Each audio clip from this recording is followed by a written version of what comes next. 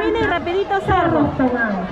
Provocativamente mojan a todas las personas que encuentran a su paso, vestidos de mucho color y alegría. Ahí están ellos, todos vestiditos con sus pañuelos de colores, colores sus